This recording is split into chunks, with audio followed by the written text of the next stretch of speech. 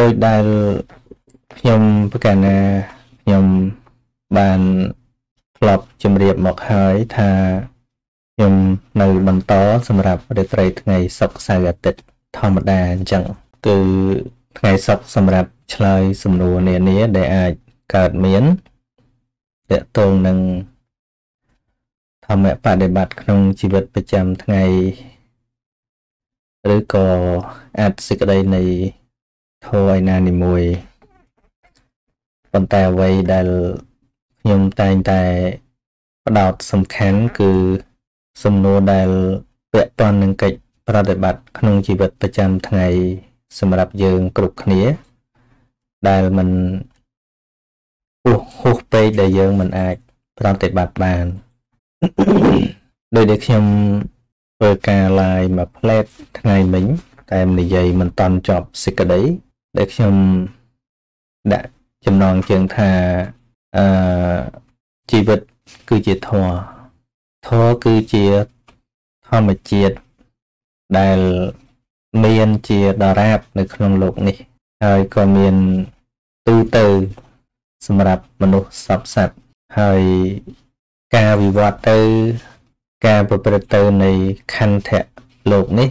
ក៏មិនមាន ការប្រព្រឹត្តទៅនៃអ្វីក្រៅពីការប្រព្រឹត្តទៅនៃធម្មៈគឺធម្មជាតិធម្មជាតិក្នុងទីនេះគឺយើងមិនប្រើពាក្យធម្មជាតិដែលពាក់ព័ន្ធតែនឹងព្រៃព្រឹក្សាលតាវលនោះទេគឺសំដៅដល់សភាវៈដែលមានប្រកបទាំងខ្លួនយើងទាំងចិត្តទាំងវិញ្ញាណទាំងអស់គឺ សុទ្ធតែជាធម្មជាតិហ្នឹងហើយហើយដូចដែលពាក្យដែលព្រះបរមគ្រូបានផ្ដាំផ្ញើទៅនឹងសាវកទាំងឡាយមុនពេលបរិនិព្វានថាព្រមចរិយធម៌ឬក៏ធម៌នឹងវិន័យដែលព្រះអង្គទ្រង់ត្រាស់សម្ដែងហើយ បង្រៀនហើយគឺនឹងតាំងនៅអស់កាលជាអង្វែងដល់មនុស្សនិងទេវតាទាំងឡាយហ្នឹងហើយអញ្ចឹងស្ដាប់ប៉ុណ្ណឹងមកយើងក៏ឃើញបានថាអឺពាក្យទាំងពីរគឺមនុស្សនិងទេវតាទាំងឡាយយើងជាសត្វមួយនៅក្នុងនឹងដែរនៅក្នុង បំណងនៃព្រះបរមគ្រូដែលព្រះអង្គទ្រង់បដិស្ថានទុកមកហើយបដិស្ថានទុកមកនឹងសម្រាប់មនុស្សយើងគឺបរិស័ទ4ពួកនឹងមានភិក្ខុភិក្ខុនីបាសកបាសិកាហ្នឹងហើយអញ្ចឹងកុំភ្លេចថាយើងក៏ជាសាវករបស់ព្រះសម្មាសម្ពុទ្ធដែរមានទួនាទីបំពេញនៅ កិរិបញ្ញកិរិយាវត្ថុ10ដូចគ្នាអញ្ចឹងណាហើយបញ្ញកិរិយាវត្ថុ10ហ្នឹងមានទៀនមានសិលមានភាវនាមានវិយវចៈមានអបចាយណៈមានបតិទានមានបត្តានុមោទនាមានធម្មសវណៈហើយមានធម្មទេសនាហើយទិដ្ឋជុកម្មៈអញ្ចឹងធម្មទេសនាហ្នឹងក៏ហោះយើងហ្នឹងក៏បំពេញបានដែរអញ្ចឹងណា ពីព្រោះមហាកុសល10ដែលប្រព្រឹត្តទៅមានច្រើនហ្នឹងព្រោះលោកគុណជាមួយនឹងបញ្ញកិរិយាវត្ថុ10អញ្ចឹងយើងទាំងអស់គ្នានឹងសុទ្ធតែជាបុគ្គលដែលព្រះអង្គទ្រង់ត្រាស់ថាជាសាវករបស់ព្រះអង្គអ្នកបួសហើយនឹងឧបាសកឧបាសិកានឹងហើយសុទ្ធតែមានទូនាទីបំពេញនៅបញ្ញកិរិយាវត្ថុនឹងហើយ ធម្មទេសនាធម្មសវណៈនឹងធ្វើបានដូចគ្នាប៉ុន្តែយើងច្រឡំយើងច្រឡំរាល់ថ្ងៃអឺទៅជាធម្មសវណៈគឺការស្ដាប់ធម៌ហ្នឹងគឺសម្រាប់តែក្រហោះទៅវិញអាហ្នឹងយើងយើងសពថ្ងៃហ្នឹងរីឯធម្មទេសនានោះមានតែប្រសងទេដែលធ្វើបាននេះយើងចែកអញ្ចឹងអល់ថ្ងៃហ្នឹងចឹងហើយបានធัวហ្នឹងត្រូវកប់បាត់នៅរង្វាត់ណាអីធេតុពិតធម្ម សវណៈអឺបព្វជិតរឹតទៅត្រូវស្ដាប់ទៅទៀតគ្រាន់តែថាស្ដាប់ដោយច្រើនហ្នឹងស្ដាប់ពីគ្រូរបស់លោកចឹងទៅណាមានព្រះឧបជាមានព្រះវិនិយាចារ្យយើងមើលសម័យពុទ្ធកាលអ្នកដែលបានស្ដាប់ធម៌ច្រើនជាងគេមិនមែនមិនក៏ហោះទេណាអ្នកមានឱកាសរៀនធម៌ច្រើនជាងគេមិនមែនក្រហោះទេអញ្ចឹងហើយបានជាព្រះវិន័យក្តីព្រះអភិធម្មក្តីនឹងព្រះអង្គសម្ដែងសម្រាប់ពួកទេវតាហើយនឹងភិក្ខុសង្ឃហើយដំបូងមិនបានសម្ដែងទូទៅដល់ក្រហោះអ្នកចិញ្ចឹមជីវិតសាមញ្ញធម្មតានឹងទេរហូតដល់ទៅអនាថបណ្ឌិកសិទ្ធិអូមានអ្នកខ្លះថាសំឡេងខ្សោយវិញខ្ញុំតឡើងតិចវិញ អនាថបណ្ឌិកសិទ្ធិនឹងស្នើសុំទៅព្រះបរមគ្រូទៅក៏ព្រះអង្គអនុញ្ញាតឲ្យភិក្ខុសង្ឃនឹងពង្រៀនដល់អឺបាសកបាសិកាផងអញ្ចឹងណាអញ្ចឹងជាអាទិភាពសម័យពុទ្ធកាលយើងមើលកិច្ចវត្តរបស់ព្រះបរមគ្រូអឺពេលព្រឹក ព្រះអង្គបណ្ឌបាតពេលរសៀលព្រះអង្គសម្ដែងពធនៅវត្តចេតពុនឬក៏ទីកន្លែងណា ដែលព្រះអង្គគង់នៅហ្នឹងគឺថាជាកិច្ចការប្រចាំរបស់ព្រះអង្គហើយពេលអឺប្រលប់ព្រះអង្គឲ្យអវាទភិក្ខុសង្ឃហើយពេលអត្រៀតព្រះអង្គដោះស្រាយប្រស្នាទេវតាចិត្តភ្លឺព្រះអង្គកមាលមើលបនិស័យសัตว์ដែលត្រូវទៅប្រោះ ប៉ុន្តែខ្ញុំចង់និយាយថា អ្នកដែលមានឱកាសស្ដាប់រហូតច្រើនគឺភិក្ខុសង្ឃព្រោះមានឱកាសនៅចិត្តព្រះអង្គពេលរសៀលដែលសម្ដែងធម៌ដល់បរិស័ទហ្នឹងក៏ភិក្ខុសង្ឃនៅនឹងដែរលោកស្ដាប់ដែរហ្នឹងហើយពេលប្រលប់អត់មាន បាសកបាសិកាទេគឺព្រះអង្គឲ្យអាវាតភិក្ខុសង្ឃតែម្ដងឃើញឃើញភិក្ខុសង្ឃហ្នឹង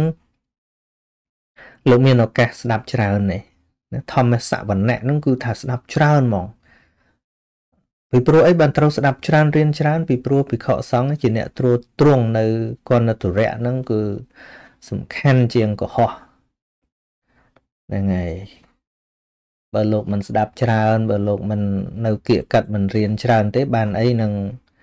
អឺត្រួតត្រងនៅធัวនៅវិន័យនឹងបានអញ្ចឹងណារីឯ ពុទ្ធបរិស័ទដែលទៅស្ដាប់ធម៌ហ្នឹងបានតែមួយពេលមួយពេលទេទៅតែពេលថ្ងៃតាពេលថ្ងៃរសៀលព្រះអង្គសំដែងធម៌ហ្នឹងហ្នឹងហើយហើយចំណែកពិខុសង្ឃវិញពេលព្រះអង្គសំដែងធម៌ក៏នៅស្ដាប់អឺពេលឲ្យអវាទពិខុសង្ឃហ្នឹងគឺថាមានតែពិខុសង្ឃហ្នឹងតែម្ដងដែលនៅស្ដាប់អញ្ចឹងយើងឃើញថាធម្មសវណៈហ្នឹងគឺអឺពិខុសង្ឃធ្វើច្រើនជាងអឺបព្វជិតជាងអ្នកបួសទៅទៀត ប៉ុន្តែដោយសារយើងឥឡូវនេះយើងឲ្យតែនៅក្នុងកម្មវិធីយើងយើងអត់មានពិខុសង្ឃលោកស្ដាប់អញ្ចឹងណាតាមបនតាមអីខ្ញុំនិយាយតាំងពីនៅលោកម៉េះអានឹងខ្ញុំនិយាយច្រើនមែនតើចឹងបានខ្ញុំធ្លាប់ដឹកនាំនៅក្នុងភាពជាបព្វជិតហ្នឹងលោកនៅជាមួយខ្ញុំខ្ញុំមិនឲ្យស្រេចតែនឹងចិត្តទេ ការដែលខ្ញុំនៅនៅកាលនោះទេណាខ្ញុំមិនមែនឥឡូវទេ អឺសាមណេរសំដែងធម៌ក៏ដោយក៏ខ្ញុំឲ្យវិខសាមណេរទូទៅទៅស្ដាប់ដែរខ្ញុំឃើញប្រយោជន៍ថងថាទី1លើកទឹកចិត្តសាមណេរហ្នឹងឲ្យលោកមានទឹកចិត្តទី2វាខុសទោសអីទៅ អ្នកពហុសោតអ្នកចេះដឹងហ្នឹងហើយអ្នកជួយកែតម្រូវបើយើងបដ ாய் ឲ្យលោកទៅទេសតឯងតឯងទៅហើយខុសត្រូវអីមានពីណាជួយកែអានឹងដែលខ្ញុំ គិតអញ្ចឹងហើយមួយយ៉ាងទៀតខ្ញុំចង់ឲ្យអ្នកបួសនឹងគោរពធម៌មុនគេហ្នឹងហើយស្ដាប់ធម៌មុនគេ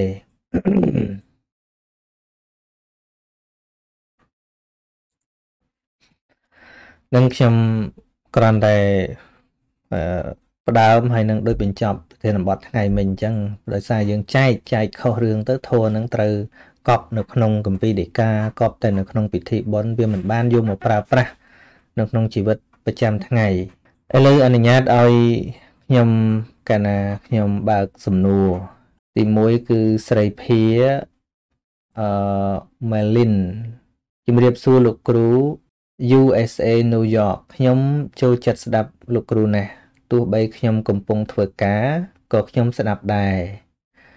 លេងចង់ស្ដាប់ចម្រៀងហើយពេលខ្ញុំស្ដាប់លោកគ្រូធ្វើឲ្យខ្ញុំរៀនព្រមថា គ្រប់អវ័យអវ័យមិនចេះតែចង់បានដូចចិត្តដែលចង់ទេអរគុណលោកគ្រូធ្វើឲ្យជីវិតខ្ញុំ បានស្រស់ស្រាយច្រើនណាស់ពិតជាអរគុណលោកគ្រូខ្លាំងមែនតែនបាទអរគុណនេះនេះស្មានតែសំណួរបាទខ្ញុំក៏សូមអនុមោទនាដែរដែលអឺស្រីភាបាន ទុកឱកាសឲ្យខ្លួនឯងបានពធនឹងបានជ្រាបចូលទៅក្នុងសន្តានចិត្តហ្នឹងហើយហើយទទួលនៅប្រយោជន៍ដល់ខ្លួនឯងវាជាសក្ខីភាពថាព្រះធម៌ពិតជាមានប្រសិទ្ធភាពហើយបន្តមកទៀតនេះស្រីនិតមក ជំរាបសួរលោកគ្រូពីចម្ងាយបាទជំរាបសួរនាងខ្ញុំចេះតែឆ្ងល់មករហូតថាតើជីវិតមនុស្សយើងដែលបានកើតមកនឹងតើកើតមកព្រោះតែបបហេតុអ្វីហើយនឹងរស់នៅដើម្បីតែអ្វីឲ្យប្រកបក្នុងលោកនេះទៅលោកគ្រូហេតុអ្វីបានជាតម្រូវមករស់ជាមួយនឹងវាអ្វីម្លេះនាងខ្ញុំឆ្ងល់មកយូរហើយពីមុនមិនតាន់មានឱកាសបានសួរទេ ឥឡូវនាងខ្ញុំសូមសួរលោកគ្រូដូច្នេះសូមលោកគ្រូមេត្តាជួយដោះស្រាយចម្ងល់មួយនេះផងសូមអរគុណទុកជាមុនលោកគ្រូបាទអឺអ្វីអ្វីកើតឡើងព្រោះបច្ច័យរបស់វាវាមិនអាចតាមយើងចង់ណាតាមតែចិត្តអ្នកសួរនឹងខ្ញុំស្ទងមើលទេមិនចង់មកទេជីវិតអញ្ចឹងអញ្ចឹងមែនទេ បើអាចកុំកើតមកបានប្រហែលជាស្រួលជាងណាដល់កើតមកហើយវាត្រូវឲ្យឈឺចាប់ត្រូវឲ្យព្រួយបារម្ភត្រូវដោះស្រាយរឿងមិនចេះឈប់ហ្នឹងហើយនឹងឯងជាអនត្តាធម៌ដែលដែលបង្កប់បញ្ជាមិនបានប៉ុន្តែព្រះបរមគ្រូក៏បានពយល់បង្ហាញនៅក្នុងបដិច្ចសមុបបាទថា តើជីវិតនឹងកើតមកពីអីហើយមូលហេតុអ្វីនាំឲ្យកើតអញ្ចឹងណាមានបន្តបន្តគ្នាវគ្គបដិច្ចសមុបបាទដែលមូលហេតុដែលនាំឲ្យកើតបន្តបន្តគ្នារហូតមានជីវិតហ្នឹងណាហើយជីវិតនាំទៅរសោកសឹកសួលទុកទោមណោះនិងសេចក្តីស្លាប់ហ្នឹងមកពីអី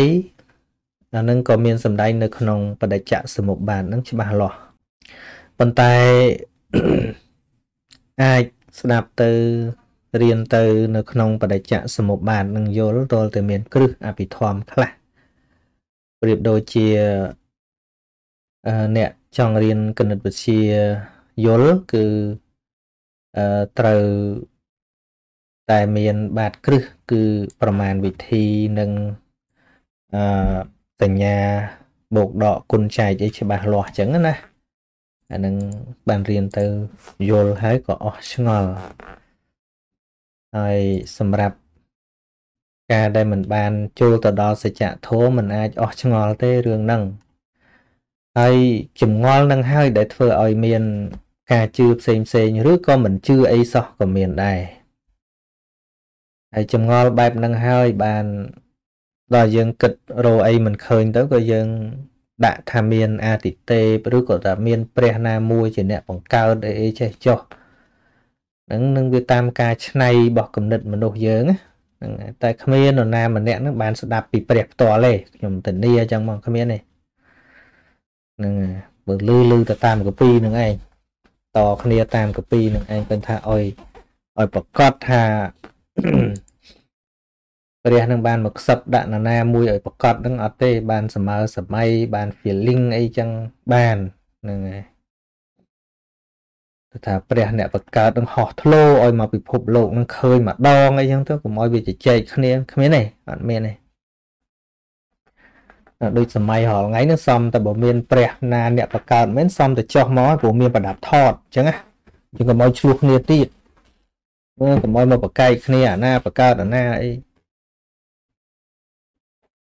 ព្រោះតែសម័យពីដើមចុះវាអត់មានប្រដាប់ថតប្រដាប់អីចុះមកហើយជួបនៅនេះជួបនៅនោះហើយទៅវិញអីវាគ្មានប្រដាប់ថតទុកណាសម័យនេះគួរគួរបច្ចេកវិទ្យារីកចម្រើនអញ្ចឹងកុំឲ្យឆ្លោះគ្នារឿងជជែកគ្នារឿងសាសនាអីច្រើនហោះមកមកធ្លោមកហើយប្រកាសប្រាប់មកថាណាយើងមកហើយយើងអ្នកបកើអដីហ្នឹងតែតែមិនគោរពអញអញធាក់មកជើងឲ្យបែកខ្ទេចខ្ទីអស់ឥឡូវអីចេះចុះទៅអូវាឃើញពេញមេឃអញ្ចឹងមក តែវាគ្មានគ្មានទេមានមនុស្សអ្នកថា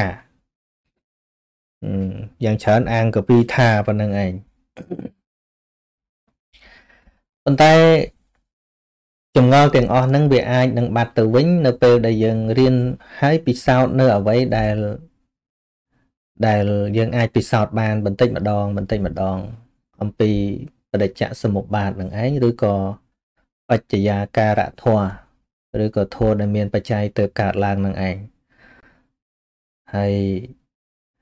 ភ្លាមយើងទៅចង់ដឹងថាពីមុនកើតមកពីណានឹងគ្មានពីណាដឹងទេអញ្ចឹងហើយបានជាព្រះបរមគ្រូព្រះអង្គត្រាស់ដឹងហើយព្រះអង្គឲ្យយើងរៀនពីស្អីដែលយើងដឹងមុន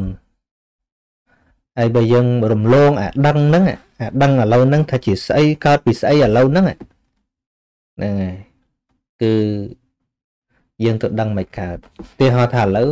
យើងកុំគិតអតីតអនាគតនឹងស្អែកស្អីកើតយើងមិនដឹងណាអត់ដឹងទេមិនបាច់ទៅគិតទៅដល់ជាតិក្រោយអីទេគិតតែស្អែករឿងអីកើតឡើងមិនដឹងអញ្ចឹងធម្មជាតិនឹងវាមានការផ្សំផ្គុំគ្នា បានវាកើតជាស្អីមួយយ៉ាងពាក្យថាបច្ច័យហ្នឹងវាមិនមែនតែមួយមួយទេវាផ្សំផ្គុំគ្នាច្រើនយ៉ាងបានវាចេញជាស្អីមួយយ៉ាងតាមជំនឿឧទាហរណ៍ថាផ្លេចម៉ូតូចុះខ្ញុំពីក្មេងៗផ្ទះបាញ់អីហ្នឹងជាតែជឿចាស់ចាស់ថាវាមានអ្នកបាញ់អ្នកអីចេះចុះអញ្ចឹងទៅបណ្ដោវិទ្យាសាស្ត្រគឺសិក្សាមើលថាអាចរន់ខ្យល់វាប៉ះទៅគិចគ្នាវាចេញអញ្ចឹងអាណាចាំអង្គុយបាញ់រហូតហ្មងពិតណាស់ថាវាអត់កើតឯងទេវាគ្មានកើតឯងទេប៉ុន្តែនៅពេលដែលអាធាតនឹងវាប៉ះគ្នាទៅវាប្រតិកម្មចេញជាអីហ្នឹងវាវាវាត្រូវតែមានអញ្ចឹង បើវាតែឯងតែឯងមិនចេញដូចដៃយើងនៅតែឯងទេមិនចេញវាតប៉ះគ្នាអញ្ចឹងទៅមកចេញសលេងឃើញទេហើយសលេងពីណាបកើតឥឡូវសលេងពីណាបកើតវាមកពីការដែលប៉ះទង្គិចគ្នាហ្នឹងឯងអាហ្នឹងថាយើងមានចិត្តបជាវាចុះសលេងខ្លះមិនបាច់មានចិត្តទេដល់ពេលវាត្រូវទៅកិច្ចវាទៅកិច្ចឧទាហរណ៍ថាភ្លៀងភ្លៀងភ្លៀងទៅវារេលដីមកថ្មវាធ្លាក់មកទៅកិច្ចគ្នាលន់សលេងដូចគ្នាបើសួរថាលឺឯងលឺឯងថាអត់ទេវាមានបច្ច័យរបស់វា វាមកពីភ្លៀងហើយភ្លៀងវាមកពីអីវាមកពីអាកាសធាតុនឹងក្តៅទៅវាបឺតហួតពីសមុទ្រពីផែនដីអីទៅទៅជុំចលងចលងធ្លាក់មកខ្ញុំពីក្មេងស្មានតែប្រអិនណូមភ្លៀងហ្នឹងអានឹងវាចិត្តតែស្មានអញ្ចឹងណាយើងចិត្តថាភ្លៀងហើយបែបផ្គួលន់គ្រឹងគ្រឹងនៅលើមេឃហ្នឹងចាស់ចាស់ក្រៅអានឹងនេះលេងទឹកក្ដុំក្ដាំងក្ដុំក្ដាំងខ្ញុំខ្ញុំចិត្តតែគិតថា ខ្ញុំគិតថាអូហើយបើនេះលេងទឹកលើមេឃថ្ងៃណាវាបាក់មេឃមកងាប់អស់ហើយជាគិតចឹងឃើញទេតែតែនិយាយអីទៅយើងអត់បានគិតយើងជឿមែនជឿថាមានអ្នកលេងទឹកនៅលើមេឃចឹងមែនតើ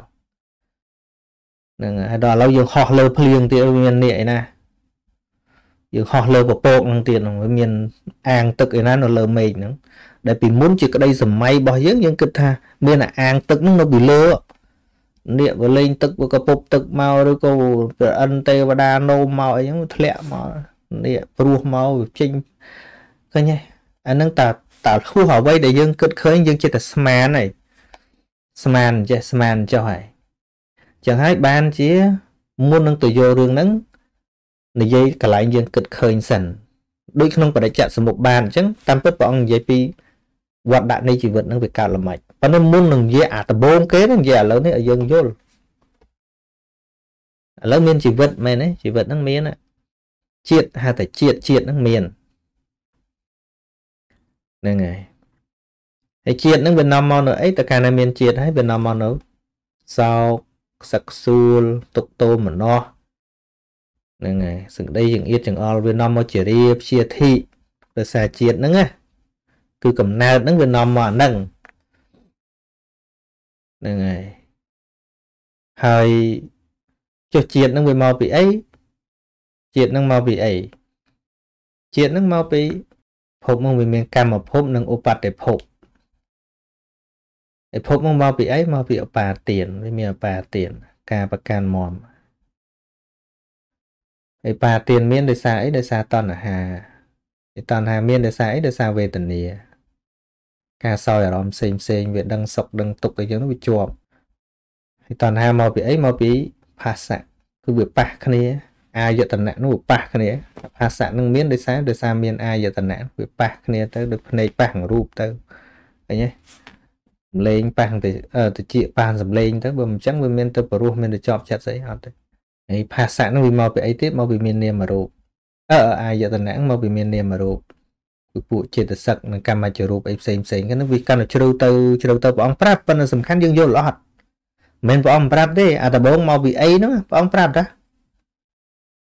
ប៉ុន្តែសំខាន់យើងយល់អត់យើងមានសមត្ថភាពចូលទៅយល់វាអត់ណាអានឹងដូចជាបញ្ហាមិនមែនថាព្រះអង្គប្រាប់ទេព្រះអង្គប្រាប់ជាលក្ខណៈមេរៀន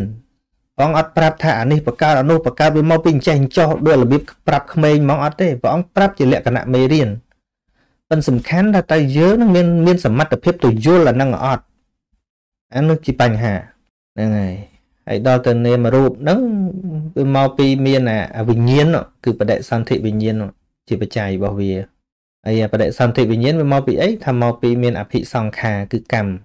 ឃើញទេហើយអភិសង្ខារកម្មវាមានអីទៀតថាមកពីធាតុអវិជ្ជា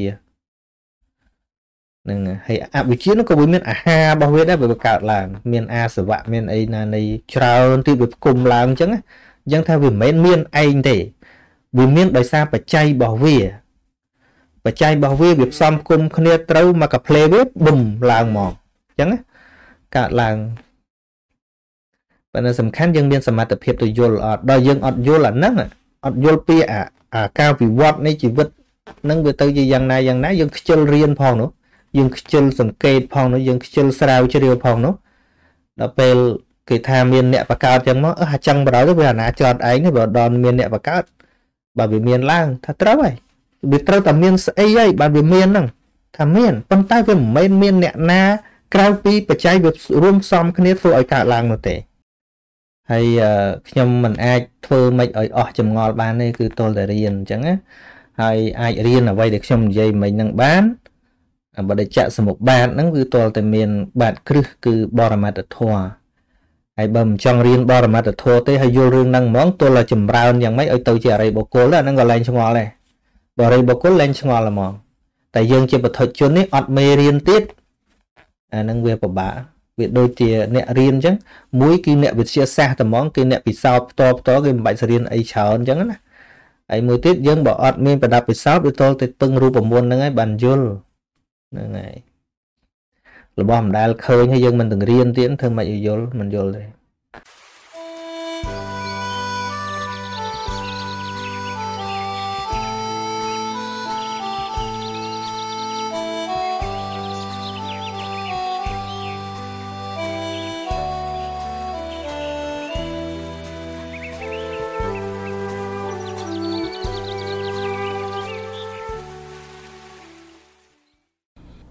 អេងយូណាខ្ញុំកណាថ្វាយអង្គមឲ្យសពគ្រប់មកសំណួរបងប្អូនខ្ញុំប្រការណា ទៅវត្តរាប់បាតខែភ្ជុំពេលមកពីវត្តវិញខ្លះហូបស្រា ខ្លះលេងលបែងស៊ីសងតើមានទោសដែរឬទេហ្នឹងហើយតែវាអត់មានពាក្យពន់រឿងទៅវត្តទេរឿងទៅវត្តទៅវត្តបើទៅវត្តធ្វើបន់គឺបន់ពេលផឹកស្រាពេលលេងលបែងបាបគឺបាបអញ្ចឹងវាអត់មាន ច្បុកច្បល់គ្នាទេអានោះហ្នឹងហើយដូចពេលម្ដងយើងចាប់ទឹកកកយើងទៅជាអត់ជាលេងទឹកកកឲ្យមកចាប់ភ្លើងវិញក្តៅអត់ក្តៅវាផ្សេងគ្នាអាក្តៅហើយទៅជាវាផ្សេងគ្នាចឹងហ្មង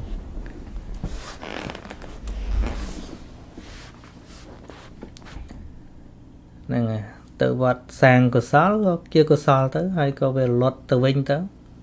មិនបានធ្វើបន្តជារឿយរឿយក៏កុសលហ្នឹងវា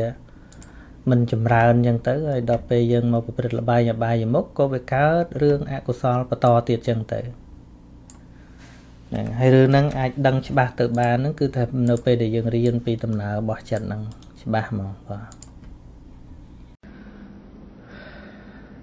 អឺ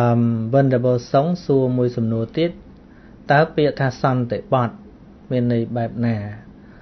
សន្តិបត្តិហ្នឹងគឺជាឈ្មោះនៃសេចក្តីស្ងប់ បត់គឺសេចក្តីស្ងប់ គឺជាឈ្មោះនៃព្រះនិព្វាននឹងតែម្ដងសន្តិបត្តិសន្តិសុខប៉ុន្តែយើងឥឡូវយើងយកមកប្រើជា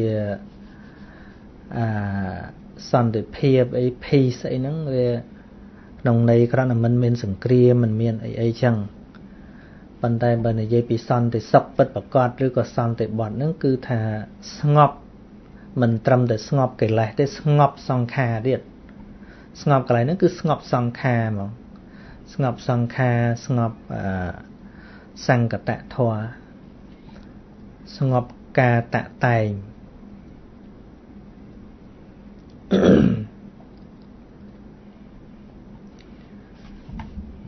ហេង making set ជាអ្វី set set ហ្នឹងអង់គ្លេសថាវាតែការទុកអីចឹងណា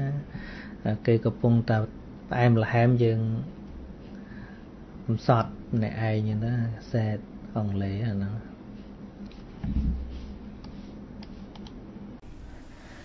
អាមេឃភួងថ្វាយអង្គមរួចហើយសួរតើការធ្វើបុណ្យបានច្រើនហើយអួតគេឯងតើនេះជាលោភៈដែរទេហ្នឹងអាអួតហ្នឹងណាវាជាកុសលអួតគ្មានកុសលទេអួតគឺអកុសលហ្នឹងតែហ្មងគឺលោភៈមូលចិត្តពេញតែហ្មងអាអួតហ្នឹងណាអួត បិណ្ឌវាច្រឡំគ្នាអារឿងប្រាប់ឲ្យគេអនុមោទនាដូចមិញអញ្ចឹងណាមិនមែនឲ្យតែគេនិយាយវាសិតតលោភៈទេមានពេលខ្លះគាត់ចង់ឲ្យអ្នកដទៃជ្រះថ្លាជាមួយគាត់ហ្នឹងហើយអានឹងពាក្យសម្ដីដែលយើងឮកាយវិការដែលយើងឃើញមិនប្រកបថាតែចិត្តគាត់គិតយ៉ាងម៉េចទេបើគាត់ពិតជាមានចិត្តអនុគ្រោះឧទាហរណ៍ថាគាត់ធ្វើផ្ទះដល់អ្នកក្រមួយចឹងចោគាត់ធ្វើស្ពានមួយចឹងចោយើងអត់មានលុយទៅធ្វើជាមួយគាត់ទេ តែគាត់ចង់ឲ្យយើងត្រេកអរជាមួយគាត់ដែរដោយចិត្តអនុគ្រោះអាហ្នឹងបនមកតង់ទៀតរបស់គាត់ប៉ុន្តែគាត់ប្រាប់ថាគាត់អួតអាហ្នឹងយើងវិនិច្ឆ័យជំនួសចិត្តគាត់ហ្នឹងហើយប៉ុន្តែបើគាត់អួតមែនអាហ្នឹងអកុសលរបស់គាត់ទេហើយបើទោះជាគាត់អួតក៏ដោយតែយើងត្រេកអរចំពោះអង្ការគាត់ធ្វើក៏យើងអត់ត្រេកអរជាមួយអាគាត់អួតទេយើងទៅត្រេកអរនឹងអំពើនោះថាអំពើត្រូវត្រេកអរនឹងអ្នកភូមិនឹងបានសុខព្រោះបានឆ្លងទឹកហ្នឹង អាហ្នឹងចិត្តកុសលត្រេកអរនឹងសេចក្តីសុខរបស់គេ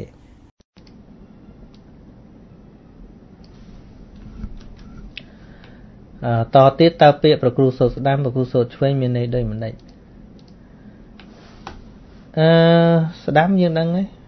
ហើយឆ្វេងក៏យើងដឹងដែរមែនទេស្ដាំឆ្វេងស្ដាំយើងប្រើចំនួនថាទី1ហើយឆ្វេងប្រើចំនួនពាក្យថាទី2បើយើងនិយាយពី អឺ president វិញប្រធានវិញគឺ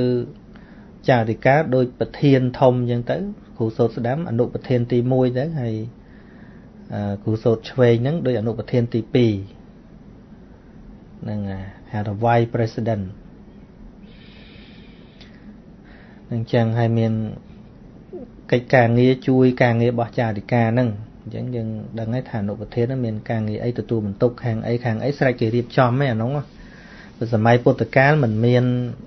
គូសូត្រស្ដាំឆ្វេងអីទេចារិកាអីក៏ដូចជាគ្មានដែរមានតែប្រធេរៈដូចថាធំជាងគេគេហៅថាបច្ចៅអាវាសអីចឹងទៅអ្នកមើលការខុសត្រូវប្រធេរៈធំអីចឹងទៅគ្មានស្ដាំឆ្វេងអីទេប្រម៉ៃពីដើមប៉ុន្តែបើព្រះសម្មាសម្ពុទ្ធមានសាវកឆ្វេងមានស្វាសាវកស្ដាំព្រះសារីបុត្រជាសាវកស្ដាំទៅព្រះមោគលានជាសាវកឆ្វេងទៅ ឈ្មោះអីទេដោយអសរកូរ៉េឬក៏មិនដឹងចិនជប៉ុននឹងស្តៀងតែគ្នាសួរតែម្ចាស់គ្រូតើប្រពុតនៅឯណាសពថ្ងៃនេះគណៈទេវតតមិនតាន់បានចាប់កំណើតឬថ្មីអប្រគុណម្ចាស់គ្រូព្រះពុទ្ធមិនមាននៅទីណាកន្លែងណាលើលោកកសន្និវៈនេះទេព្រោះព្រះអង្គបរិនិព្វានហើយអញ្ចឹងណានៅតែរូបមន្ត ពធប៉ុណ្ណោះដែលយើងអាចស្គាល់ព្រះអង្គថាជាអ្វីបាន តាមរយៈការសិក្សានិងបដិបត្តិនៅធម៌ព្រះអង្គនោះឯងប្រៀបដូចជាអ្នករោគរូបមន្តឆ្នាំឃើញគាត់បានស្លាប់ហើយណាអស់ជីវិតហើយ តែអ្វីដែលនៅ គឺឆ្នាំនោះអាចប្រើមកដល់រាល់ថ្ងៃហ្នឹងហើយយើងកុំគិតថាអឺពពុទ្ធបរិនិព្វានហើយយើងជួយយើងមិនបានពិតណាបងអត់មានជួយអីទេ ប៉ុន្តែមេគាគឺវធនោះជារូបមន្តដោះស្រាយបញ្ហារបស់យើងអញ្ចឹងណាដូចដោយអ្នកបង្កើតរូបមន្តគណិតវិទ្យាអញ្ចឹងគាត់ស្លាប់បាត់ហើយប៉ុន្តែសួរតគាត់មកជួយឲ្យយើងបានទៀតថាអត់ទេតែរូបមន្តនឹងជួយឲ្យយើងឆ្លាតជួយឲ្យយើងចេះអញ្ចឹងណា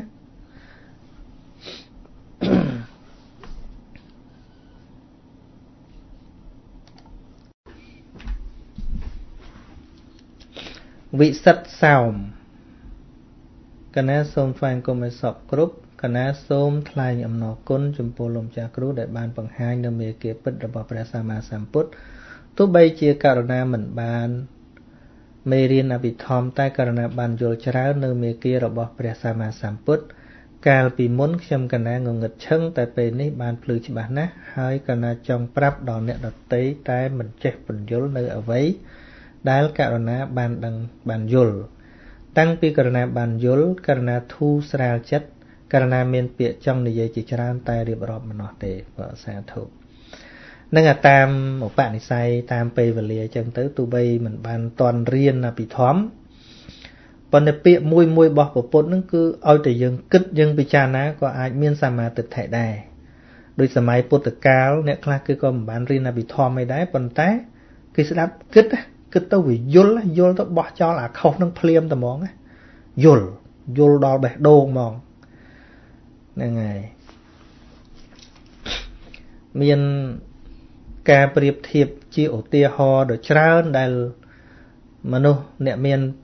ការគិតពិចារណាស្ដាប់ហើយគឺកើតបញ្ញាខ្លួនឯងលះចោលនៅអ្វីដែលខុសហ្នឹងដោយមានពលឺភ្លឺស្វាងក្នុងជីវិតមែនតែនមក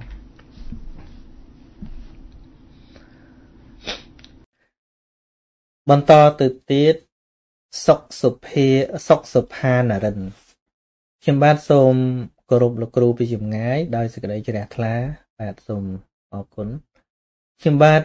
បានរៀនមេរៀនអភិធម្មចប់ហើយនឹងដឹងពីធัวការរលត់ធัวណារលត់ហើយមិនដែលកើតឡើងម្ដងទៀតទេខ្ញុំអាចដោះស្រាយបញ្ហាប្រចាំថ្ងៃបានមួយចំនួនធំមិនតែប៉ុណ្ណោះ អាចដោះស្រាយសំណួរផ្សេងផ្សេងរបស់បងប្អូនក្នុងក្រុមគ្រួសារទៀតផងព្រោះតែខ្ញុំបានរៀនមេរៀនអភិធម្ម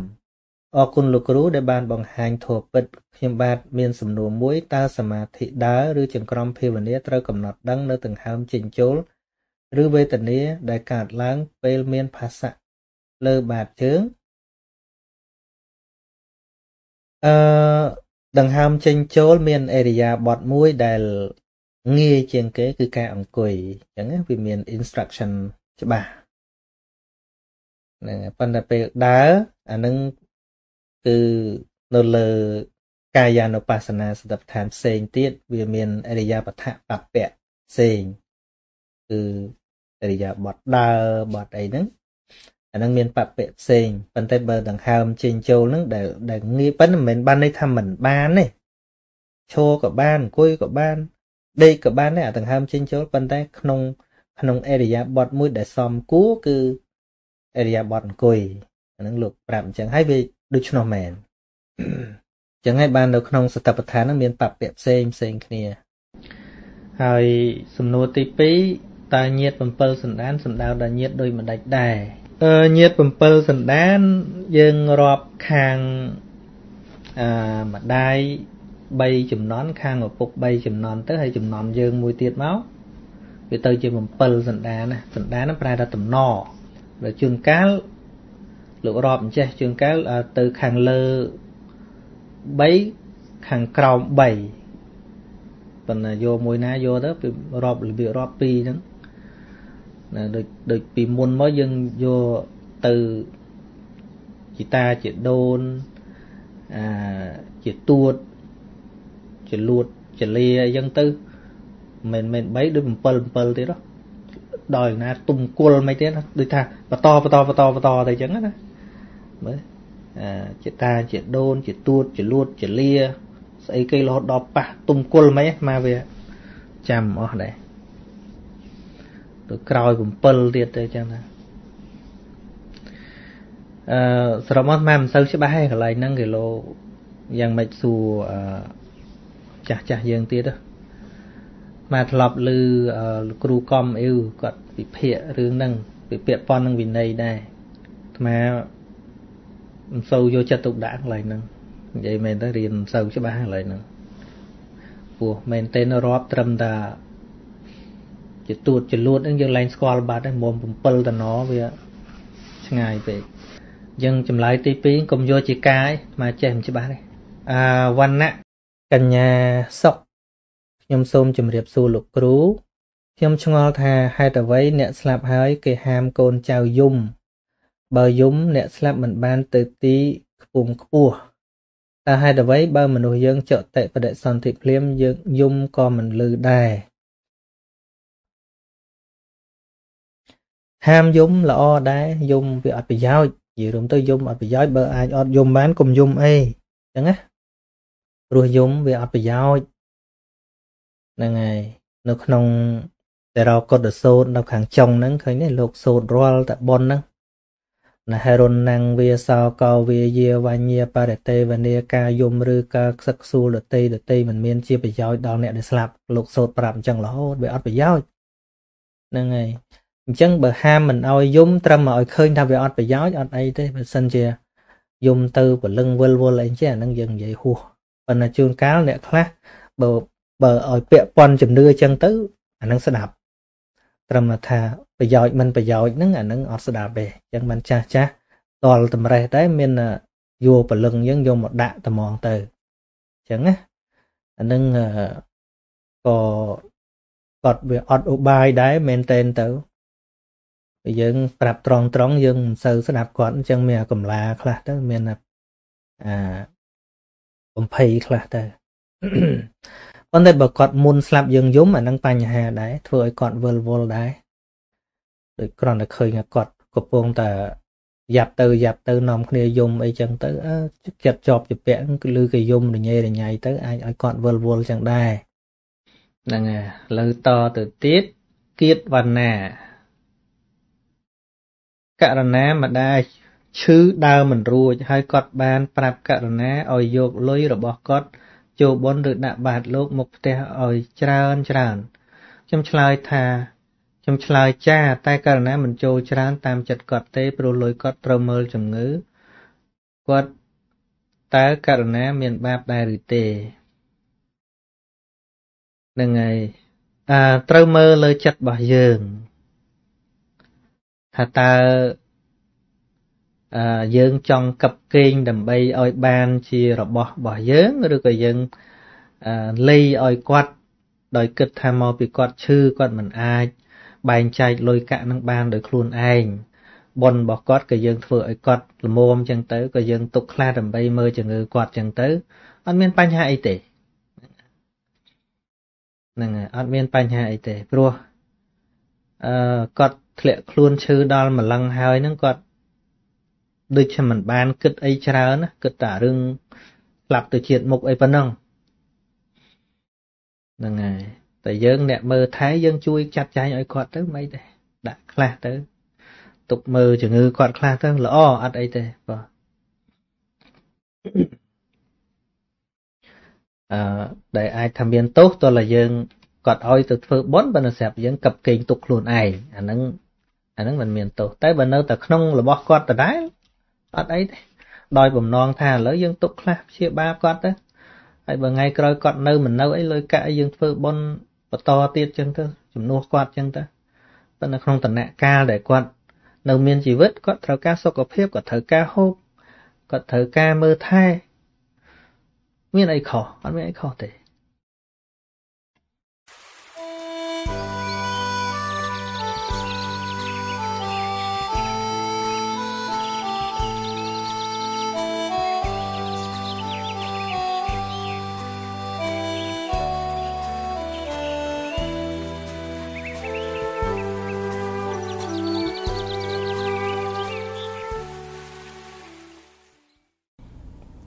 ស្រេងសុផលសាធុសាធុលោកម្ចាស់គ្រូទេសបានពីរោះណាស់ខ្ញុំកណាយល់ច្បាស់ហើយក្នុងជីវិតមានហេតុមានផលនៅពៀនគឺអស់នៅតណ្ហាបើមើលលើទូធัวมันមានអ្នកខុសឡើយបើមើលអឺបញ្ចត្តឃើញបញ្ញត្តិឃើញអ្នកខុសតាមពិតជាវិបាកកម្មទេបាទសាធុនាងសុផន ខ្ញុំកណាមានសំណួរកុំចេះខ្ញុំកណាជាអ្នកលក់អីវ៉ាន់នៅផ្ទះហើយក៏មានស្រាដែលពេលគេទិញហូបហើយក៏មានការរំច្រៀងនិងហឹង្សាដាក់កណាតើកណាមានបាបដែរឬទេព្រោះមានគេថាខ្ញុំកណាលក់ស្រាចំស្រាវ័យកណា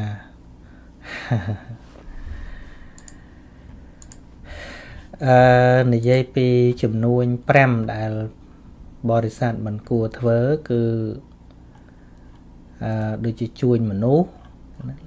ចំនួនមនុស្សជួញសត្វជួញសត្រាវុធជួញថ្នាំពុលហើយនឹងជួញគ្រឿងសង្វឹងអញ្ចឹងណាជាចំនួនដែលពុទ្ធបរិស័ទមិនក៏បីធ្វើនឹងអញ្ចឹងប៉ុន្តែវា ចំកន្លែងពិបាកបន្តិចហើយលក់ដូររាល់ថ្ងៃហ្នឹងអាត្មាធ្លាប់ស្គាល់ដែរថា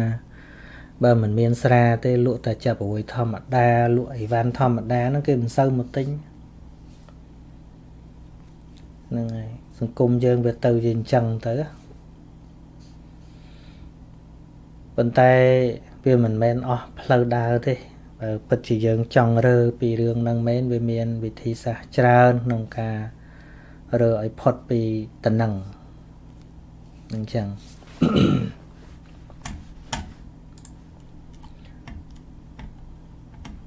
ព្រោះផ្លូវរបស់យើង គឺយើងជាអ្នកដើរឧបាសកទូតហៃខ្ញុំកណាសូមនមស្ការព្រះអង្គគ្រូខ្ញុំកណាឃើញសពថ្ងៃក្នុងពិធីបុណ្យបច្ច័យ4ចម្រើនបជននិមន្តប្រសង់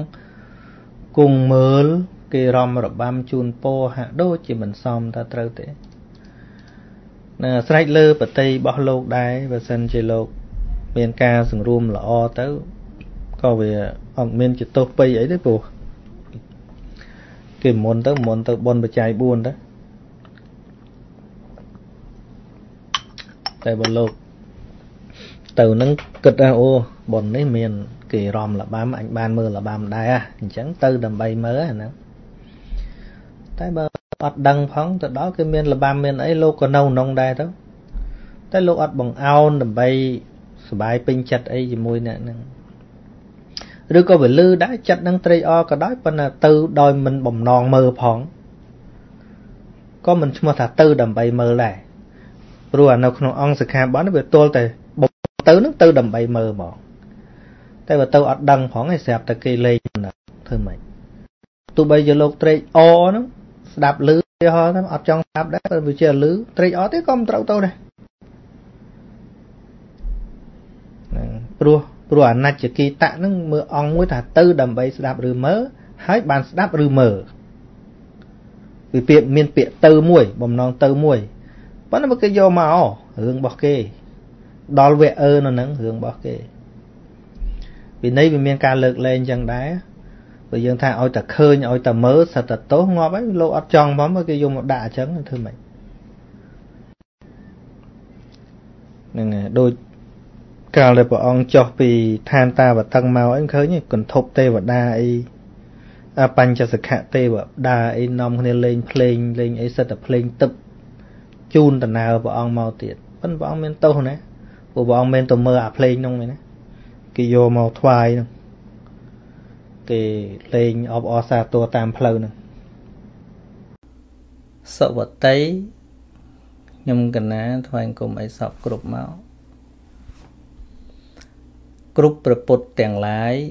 សុទ្ធតែមានទេវបុត្រមាតាមរំខានឬយ៉ាងណាអានឹងបើតាមទំនៀមហៅថាជានិយមហ្នឹងវាតែងតែមានជាធម្មតាអញ្ចឹងអញ្ចឹងណាប៉ុន្តែ ឲ្យអាត្មាអះអាងថាយ៉ាងណាហ្នឹងអាត្មាគ្មានអីទៅកំណត់បានទេវាជាវិស័យជាដំណើរជីវិតរបស់ពុទ្ធ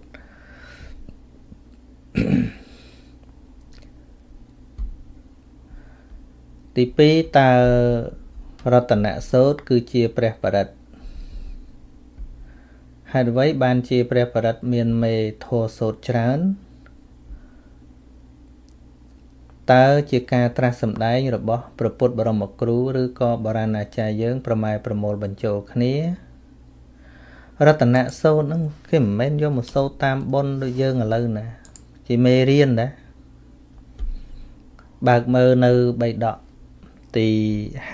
52ទំព័រជាង10អីឡើងទៅហ្នឹងហៅថារតនៈសូត្រហ្នឹង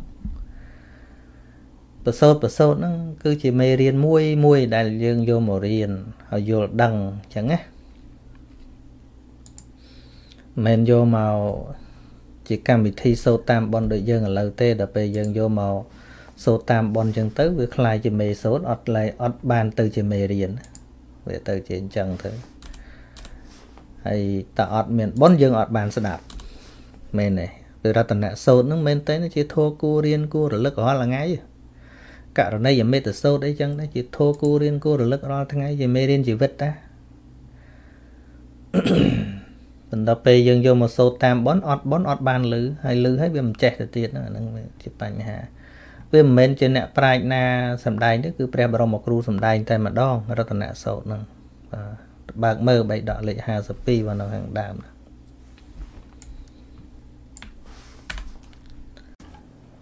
សុកកែវ មកស្ការរួចហើយអឺកណាមានចម្ងល់កណាតែងតែស្ដាប់លំចាស់គ្រូសំដែងថាធัวធម្មតាតែខ្ញុំកណារកកន្លែងធម្មតាមិនឃើញឧទាហរណ៍នៅពេលចិត្តខឹងពិបាកណាស់ទៀនសូមលំចាស់គ្រូជួយបញ្យល់ផងនឹងពិបាក feel ថាពិបាកហ្នឹងមិនមែនយើងពិបាកទេ មកពីវាចិត្តទាស់ហ្នឹងវាកើតឡើងបន្តទៀតអាខឹងហ្នឹង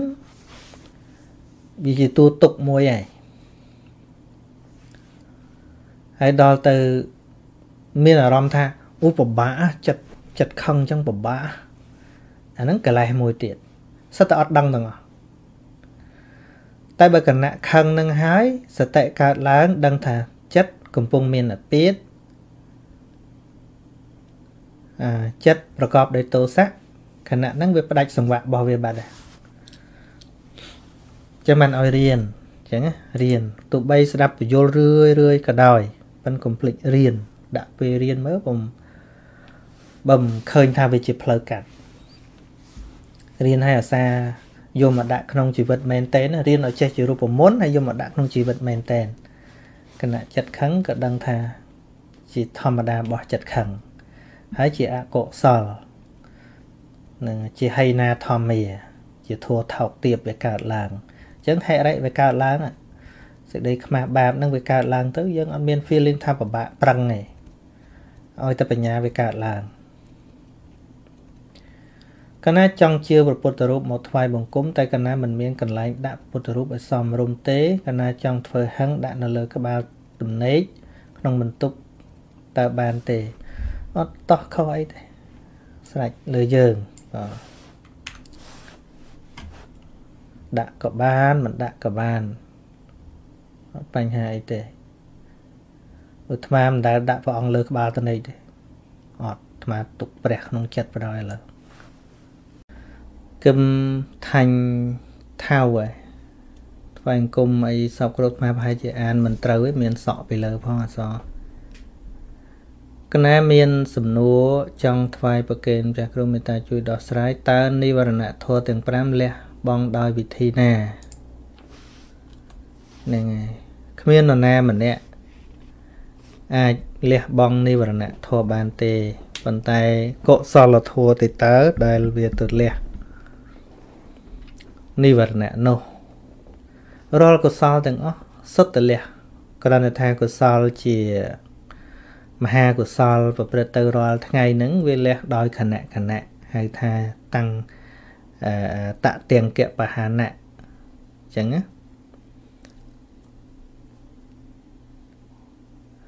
ហើយ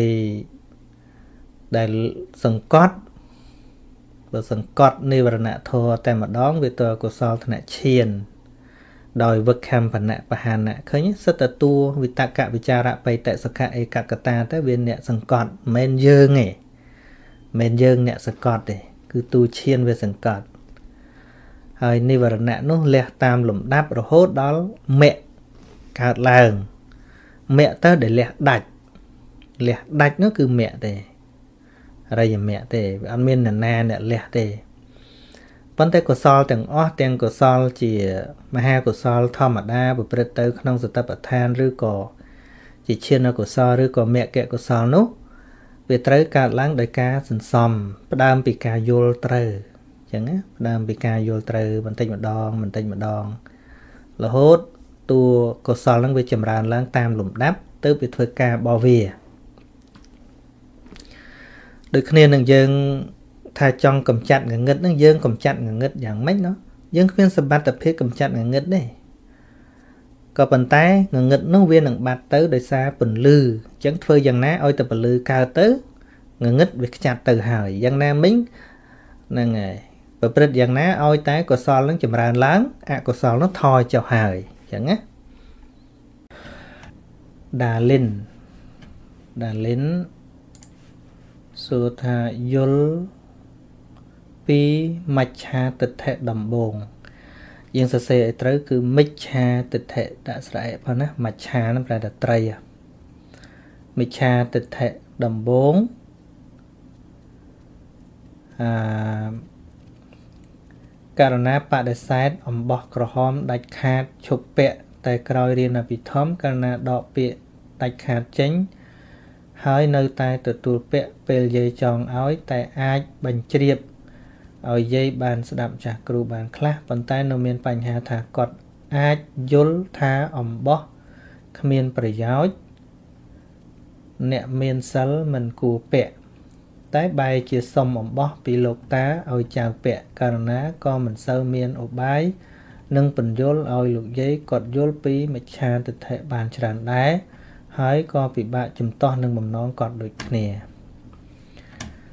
បាទ វាមិនជារឿងស្រួលអាហ្នឹងវាត្រូវតែពិបាកចឹងឯងអឺមានពេលខ្លះយើងជាគិតថាទិដ្ឋិហ្នឹងវាងាយ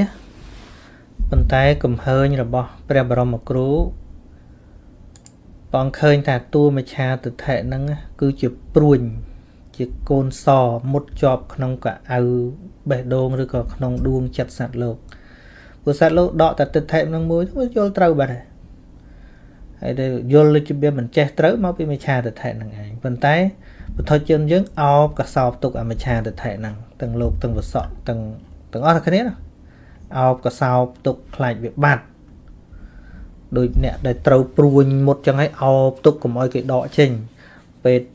ចង់វះយកចេញហើយកុំដកអានឹងខ្ញុំមុតតាំងពីកណ្ដោតមកចឹងដូចយើងជឿអីខុសចឹងពីណាមកបញ្យល់អីកុំមកដកយល់ខុសអញចេញណា តែដកចេញខ្លាច់យល់ត្រូវអញអញខ្លាច់យល់ត្រូវណាព្រោះអាយល់ខុសហ្នឹងអញយល់តាំងពីក្នុងពោះម៉ែអញមកម៉ែកុំដកចេញបើអញទេអានោះចឹងឯខុសរហូតទៅពុតចង់ត្រាស់10អង្គទៀតក៏នៅតែខុសចឹងធ្វើម៉េចមួយទៀតចុះអឺរក្សាបោ អឺកាលណាសូមថ្លែងគុំបងគ្រូដោយសេចក្តីគោរពជ្រះថ្លា ពីមុនករណីប្រគិនចង្ហាន់ទេយទានដល់ព្រះសង្ឃហើយមិនដែលស្រួលចិត្តទេព្រោះខ្វល់នឹងរឿងដល់ឬមិនដល់ជួនសៅមងចិត្តភ្លេចឈ្មោះញាតដែលបានចែកឋាន តែបន្ទាប់ពីបានស្ដាប់ព្រះអង្គគ្រូចង្ហាន់ឬទេយទានដែលប្រគេនព្រះសង្ឃគឺប្រគេនដោយស្មោះប្រាថ្នាឲ្យជាប្រយោជន៍ត្រឹមព្រះសង្ឃគណៈនោះចិត្តជ្រះថ្លាស្រាលខ្លួនណាស់ព្រះម្ចាស់ ណាសូមអរគុណព្រះអង្គគ្រូបើមិនមានព្រះអង្គគ្រូពន្យល់អភិធម្មជាពាក្យងាយយល់ទេម្លេះករណាគ្មានថ្ងៃយល់ធម៌របស់ព្រះសម្មាសម្ពុទ្ធទេនឹងអាចមានអឺគ្រូដតីព្រះអង្គគ្រូដតីក៏បញ្យល់ដែរប៉ុន្តែថាអឺញោមមាននិស័យជាមួយអាត្មាអញ្ចឹងទៅណាហើយក៏ជ្រះថ្លាត្រឹមស្ដាប់អាត្មាអញ្ចឹងទៅហ្នឹងហើយ មិនបានន័យថាអត់មានព្រះអង្គគ្រូដតីបយលទេក៏មានលោកបយលច្រើនដែរគ្រូផ្សេងផ្សេងនឹងចឹងប៉ុន្តែគិតថាយើងមានឧបនិស្ស័យជាមួយគ្នាក៏ស្ដាប់គ្នាយល់ចឹងទៅហើយស្ដាប់គ្នាមិនយល់ទេជេរអាត្មាចឹងទៅធម្មតាអញ្ចឹងដូចសម័យពុទ្ធកាលអញ្ចឹងអ្នកខ្លះទៅជ្រះថ្លាពេលស្ដាប់អនន្តអ្នកខ្លះទៅទៅជ្រះថ្លានៅពេលស្ដាប់ព្រះសារីបុត្រអ្នកខ្លះទៅស្ដាប់ព្រះមហាកាសបៈអីចឹងទៅហ្នឹងហើយ លោកមានគុណសម្បត្តិផ្សេងផ្សេងគ្នាបាទព្រោះកិច្ចការងារទាំងអស់ហ្នឹងយើងត្រូវធ្វើរួមគ្នានៅក្នុងសហគមន៍របស់យើងអញ្ចឹងខ្ញុំកណាសូមមិន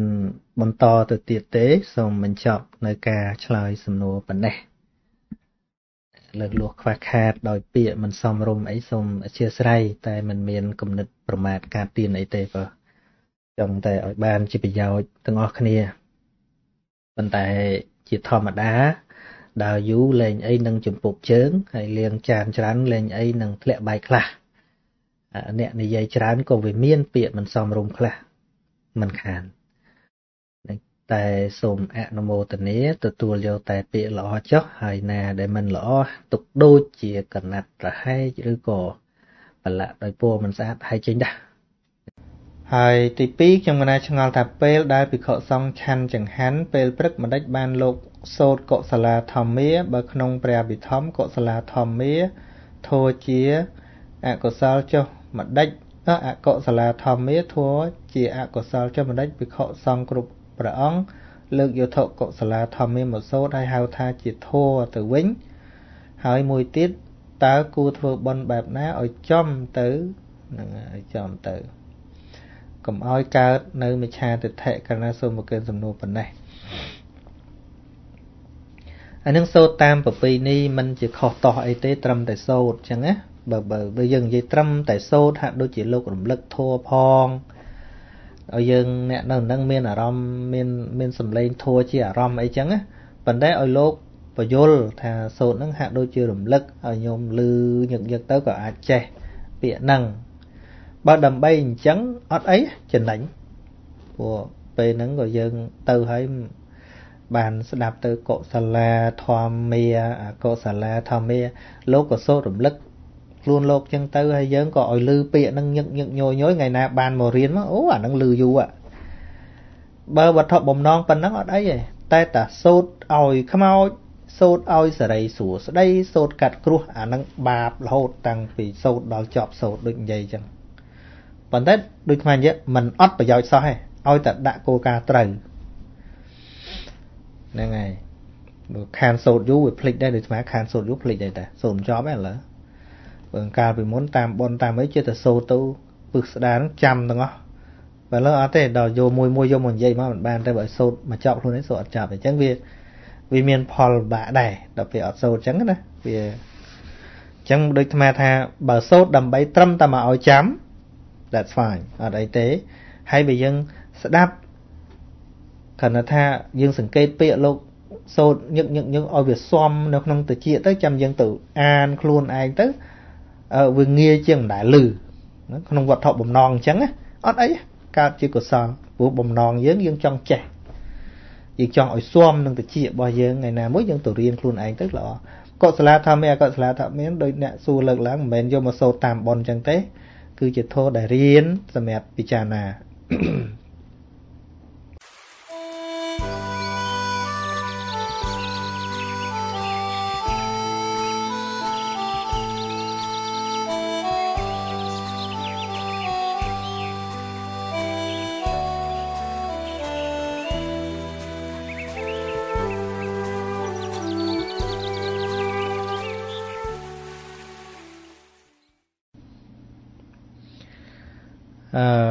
ចែក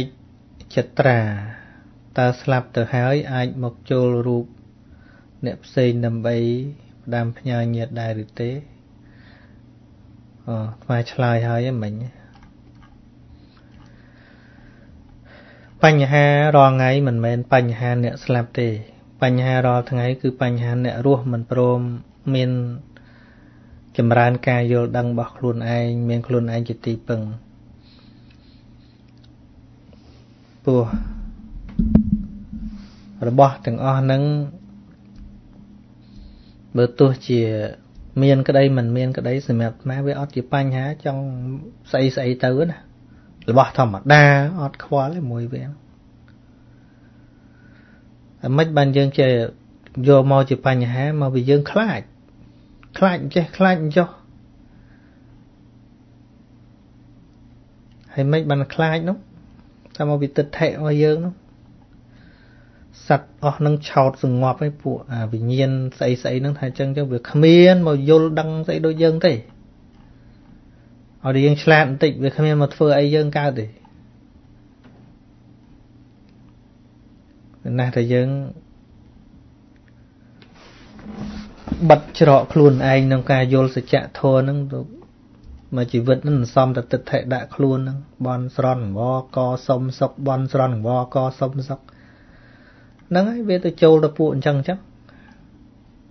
ដូចថ្មប្រកាសហ្មងទៀតខ្មោចមកពិភពលោកនឹងប្រកែមកធ្វើថ្មមកមកដឹងកាយៅពួកវាប៉ុណ្ណេះហើយវាមិនហ៊ានទេ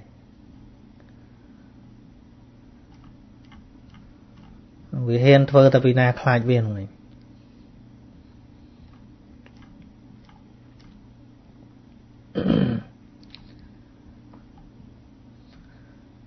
ចឹងមកយើងត្រូវរៀនត្រូវសិក្សាហ្នឹងដូចផ្ទះយើងក៏ដោយពួកអមនុស្សស្អីស្អីក៏ដោយវាគ្មានចាំបាច់ទៅរៀបស្អីឲ្យវាទេ យើងជាម្ចាស់តាយើងហាក់ដូចជាមិនមែនម្ចាស់ផ្ទះថាយើងជាម្ចាស់ផ្ទះមិនមែនខ្មោចម្ចាស់ផ្ទះទេប៉ុន្តែភ័យអូយភ័យធ្វើអញ្ចឹងមិនដាក់អញ្ចេះគេខឹងខឹងឯណាកាយើងអ្នកម្ចាស់ផ្ទះ ពួកហ្នឹងមានម្ចាស់ផ្ទះអីវាមកត្រូវសុំអនុញ្ញាតពីយើងនៅតាយើងឲ្យនៅបានឲ្យបាននៅមកនៅអត់នោះហើយដឹងអញ្ចឹងដឹងអញ្ចឹងគ្មានទៅខ្លាចអាខ្មោចណាមួយកៅមនីរតខ្ញុំកណាសូមមកស្គាល់លោកចាស់គ្រូដោយសេចក្តីគោរពខ្ញុំមនីរតបានរឿងថ្មីមួយចង់ឲ្យលោកចាស់គ្រូជួយបកស្រាយប្រាប់អ៊ំពូមីង ដែលគាត់នៅធ្វើការអដែលគាត់នៅធ្វើនៅយល់តាមទម្លាប់ចាស់ចាស់ពីមុនគាត់និយាយថាពេលថ្ងៃបោសុតសិលគឺគាត់មិនហ៊ាន ថ្ងៃបោសុតសិលគឺគាត់មិនហ៊ានហាលស្រូវទេព្រោះខ្លាចដាច់សិលហ្នឹងហើយសូមលោកចាស់គ្រូជួយបញ្យល់ពួកគាត់ដោយសេចក្តីអនុគ្រោះទានម្ចាស់ ហ្នឹងហើយវារបស់គួសង្រួមយើងមិនសង្រួមទៅសង្រួមរឿងហាលស្រូវអីទៅវិញទៅវាបាក់ដែរនឹងបញ្យល់ថាម៉េចវាមានតែស្ដាប់ធัวយល់នឹងឯងបញ្យល់ពេលហ្នឹងប្រហែលជាគាត់មិនស្ដាប់ផងព្រោះបោសតសិលអង្គ8វាមានតែ8នឹងឯងវាមានចូលរឿងស្រូវមួយទៀតផង ហ្នឹងគ្រាន់តែចេះគ្រាន់ថា មានបុគ្គលខ្លះថ្ងៃសិលហ្នឹងគាត់សម្រាប់ពីកិច្ចការងារផ្សេងផ្សេងទៅមកអង្គុយពិចារណាធម៌ឬក៏មកសន្តានាធម៌អីមិនចង់ខ្វល់ខ្វាយពីកិច្ចការងារអញ្ញាអញ្ញៃច្រើនគាត់មកស្ដាប់ធម៌អីចឹងណាគាត់មិនចង់រវល់នៅហាលស្រូវហាលកតេលអីទៀតចឹងណាគាត់ចង់មកស្ដាប់ធម៌សន្តានាធម៌អីចឹងទៅគាត់គាត់ដូច holiday មួយថ្ងៃពីកិច្ចការងាររបស់គាត់ គាត់យល់ចឹងអត់អីទេអត់បញ្ហាអីទេគាត់អត់ចង់រវល់ថ្ងៃហ្នឹងគាត់ចង់មកស្ដាប់ធម៌គាត់ចង់ធ្វើអីចឹងទៅប៉ុន្តែបើយើងយល់ថាហាលសិលអើហាលស្រូវដាច់សិលហ្នឹងវាពិបាកតិចទៀតគេថាហូបបាយដាច់សិលទៀតអាហ្នឹងគិតមិនអា ហ្នឹងហើយអញ្ចឹងមិនយើងឃើញទោសនៃការមិនរៀនយើងកាន់សិលតែអត់ឲ្យអាហារសិលដោយការមិនរៀនសូត្រហ្នឹងគឺយើងអត់យល់ថាធ្វើម៉េចដើម្បីឲ្យសិលហ្នឹងល្អឯងវាទៅជាធ្វើរឿងនេះរឿងនោះផ្សែផ្សំអញ្ចឹងទៅទៅជាគិតថាជារឿងសំខាន់តែរឿងសំខាន់ដែលគួរធ្វើជាអាហារសិលគឺការសន្តានាធម៌ការសាឆាធម៌ចម្រើនបញ្ញានេះរឿងនេះជាជារឿងគួរធ្វើអញ្ចឹងណា ឲ្យយល់ពីសិក្ខាបទសិលហ្នឹងឬក៏វាលើសពីហ្នឹងក៏ដោយយើងស្ដាប់ពីពធផ្សេងផ្សេងអប់រំចិត្តអីផ្សេងផ្សេងបញ្ញាកើតឡើងសុទ្ធតែជាគ្រឿងជំនួយឲ្យសិលហ្នឹងល្អទាំងអស់មោដរាមាសជំរាបសួរលោកក្មួយ សូមលោកក្មួយជួយបញ្យលពាក្យវិយាវចៈនិងបវារណាតើខុសគ្នាយ៉ាងដូចម្ដេច ហើយពេលប្រគេនបច្ច័យដល់ព្រះសង្ឃតើត្រូវនិយាយយ៉ាងម៉េចដែរវិយាវចៈនឹងគឺកិច្ចបំរើដូចជាជួយខ្នះខ្នែងធ្វើកិច្ចការងារបោះសម្អាតអីអីហ្នឹងការជួយខ្នះខ្នែងបំបែកទឹកនំចំណីណាហៅថាវិយាវចៈហើយដល់មនុស្សដែលធ្វើការងារចង់ជួយអីអីហ្នឹងហៅថាវិយាវចកមិនមែនតែនទៅយើងរាល់ថ្ងៃយើងហៅអូគាត់ជាវិយាវចៈ តាមពិតនិយាយអត់តន់អស់និយាយឲ្យអស់គឺវិយាវចកវិយាវចកហ្នឹងគឺអ្នកដែលជួយបម្រើខ្នះខ្នែងកិច្ចការងារអីផ្សេងផ្សេងហ្នឹងហ្នឹងដូចយើងនិយាយពីកម្មៈកម្មៈគឺការងារដល់កម្មករអ្នកធ្វើការអញ្ចឹងណាកកហ្នឹងគឺអ្នកធ្វើកដែលសើកនឹងរនឹងឯង ហើយដល់បវារណាស្មើនឹងឲ្យឬក៏ប្រកេនជូនហៅថាបវារណាប្រាប់បានច្រើនបវារណានឹងប្រែថាប្រាប់ប្រែថាឲ្យប្រែថាជូនប្រែថាប្រកេននឹងបវារណាហើយពេលប្រកេនបច្ច័យដែលត្រូវនិយាយយ៉ាងម៉េចឲ្យត្រូវនោះវាវាពាក់ព័ន្ធនឹងវិយាវចកហ្នឹងហើយបើសិនអត់មានវិយាវចកហ្នឹងទេក៏គ្មានពាក្យនិយាយម៉េចឲ្យវាត្រូវកើតដែរពីព្រោះ សុំកម្មាទោសកណាគ្រប់ព្រះអង្គតែខ្ញុំមិនណានិយាយតាមវិន័យទេតិចធ្វើបានមិនបានអានឹងអាស្រ័យរៀងរៀងព្រះអង្គចោះតាមស្ថានភាពជាក់ស្ដែងបើនិយាយឲ្យត្រូវឧទាហរណ៍ថាយើងមានលុយ10000រៀលអញ្ចឹងណាហើយនរណាដែលជាអ្នកជួយចាត់ចែងការងារឲ្យលោកហ្នឹងគេហៅវិយាវចកយើងគ្រាន់តែទូលប្រកេនលោកឲ្យជ្រាបថាបបិទ្ធលោកម្ចាស់ដ៏ចម្រើន ខ្ញុំកណាបានទុកដាក់ប្រាក់10000រៀលនៅក្នុងដៃវិយាវចកឈ្មោះអីចឹងទៅឬក៏វិយាវចករបស់លោកម្ចាស់សូមលោកម្ចាស់ប្រើប្រាស់បច្ច័យ4តែម្យ៉ាងណាពាក្យត្រូវតែប៉ុណ្្នឹងកុំបោបាច់ច្រើនបោបាច់ច្រើនអត់ត្រូវទេដើម្បីជាប្រយោជន៍ស្អីស្អីអានឹងគេខ្លែមទេតែបើសិនជាមិនមាននរណាជាអ្នកកាន់លុយជំនួសលោកទេ បាច់វល់ណាបានប្រកេនបដ ாய் ទៅបវាក៏នៅតែលោកកាន់មិនបវាក៏លោកកាន់ដដែលវាអត់មានពីអីត្រូវទេហ្នឹងហើយងាយឆាប់ចប់ព្រោះបវាក៏វាអត់ត្រូវដែរបវារណាត្រូវតលមានវិជាវចក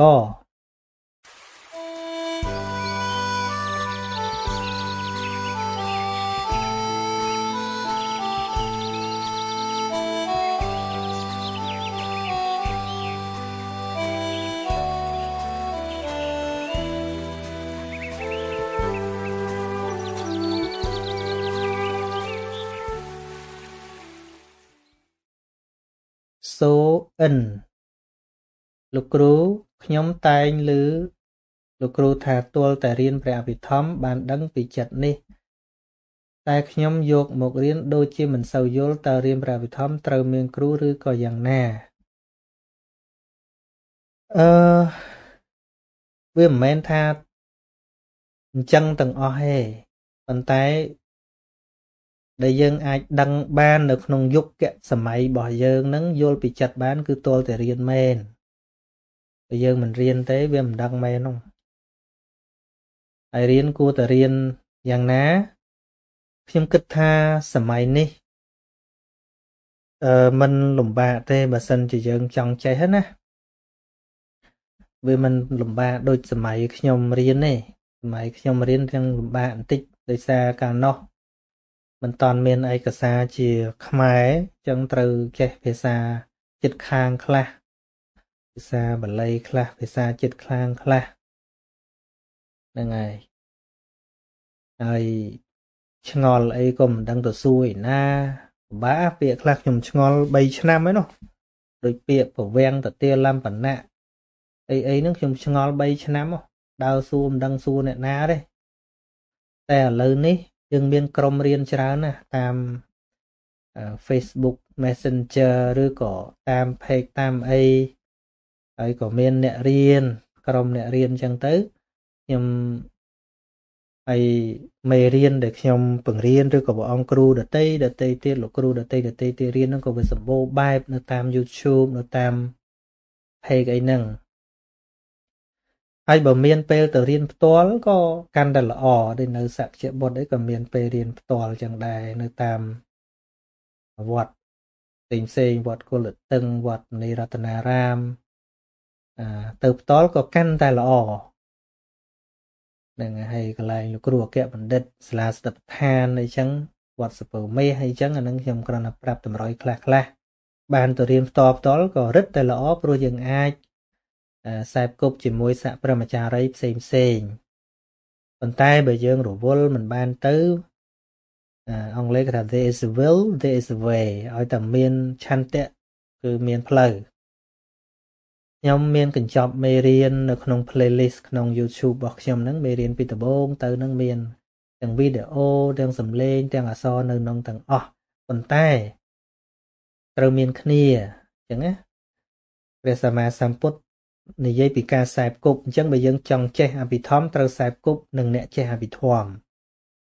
ណាបើមិនបានលើយើងក៏ចាប់ផ្ដើមប្រហាក់ប្រហែលទៅ ដើម្បីបានសាកសួរគ្នាហ្នឹងគឺជាវិធីរៀនដែលល្អរៀនម្នាក់ឯងឆាប់បោះបង់សេចក្តីព្យាយាមអឺឥឡូវតទៅទៀតខ្ញុំឆ្លើយបន្តទៀតព្រះគ្រូចាអធិការវត្តនំអន្ត្រឹស លោកគ្រូ តើវត្តមនីរតនារាម មានគ្រូបង្រៀនអត់អាត្មាចង់បានលោកមកបង្រៀនក្នុងវត្តអឺតលតេតងទៅគណៈគ្រប់គ្រងវត្តខ្ញុំបានប្រគល់កិច្ចការងារអស់ហើយសម្រាប់គណៈគ្រប់គ្រងថ្មីចាអធិការថ្មីនៅវត្តមនីរតនារាមខ្ញុំឥឡូវនេះខ្ញុំគ្រាន់តែជាបាសកធម្មតាប៉ុណ្ណោះ មិញមានសំណួរសួរខ្ញុំថាខ្ញុំហៅលោកគ្រូបណ្ឌិតបានឬអត់ខ្ញុំបានប្រកាសពី3ដងហើយថាខ្ញុំសុំមិនអោយហៅខ្ញុំបណ្ឌិតទេសូមអធិស្ឋានតែខ្ញុំអាចឲ្យហៅក្នុងន័យស្និទ្ធស្នាលលោកប្អូនលោកបងលោកពូអីចឹងទៅហើយឬក៏បើបានរៀនពីខ្ញុំបានច្រើនដែរហៅខ្ញុំលោកគ្រូក៏បាន បើមិនអញ្ចឹងទេហៅខ្ញុំបបាសក់ដែលខ្ញុំពេញចិត្តប៉ុណ្ណឹងតែពាក្យអ្នកប្រាជ្ញពាក្យបណ្ឌិតហ្នឹងខ្ញុំសុំមិនទទួលទេខ្ញុំក៏វានៅមានកិលេសធម្មតាអញ្ចឹងណាខ្ញុំឮពាក្យបណ្ឌិតពាក្យអីខ្ញុំព្រឺខ្លួនដូចពិបាកទទួលហើយបន្តទៅទៀតជាសុផនសួរថា តើពុទ្ធជនអាចក្លាយជាព្រះរហន្តបានដែរឬទេ ដោយមិនឆ្លងកាត់ភាពជាព្រះសង្ឃភេទមិនមែនជារនាំងទេ ជាក្រហោះក៏ដោយជាអឺបបចិត្តក៏ដោយឲ្យតែបញ្ញាឲ្យតែអន្ត្រីគ្រប់គ្រាន់គឺអាចសម្រេចដូចគ្នាពីព្រោះការសម្រេចជាព្រះរហន្តនឹងគឺសម្រេចដោយវិជ្ជា សម្រេចដោយបញ្ញា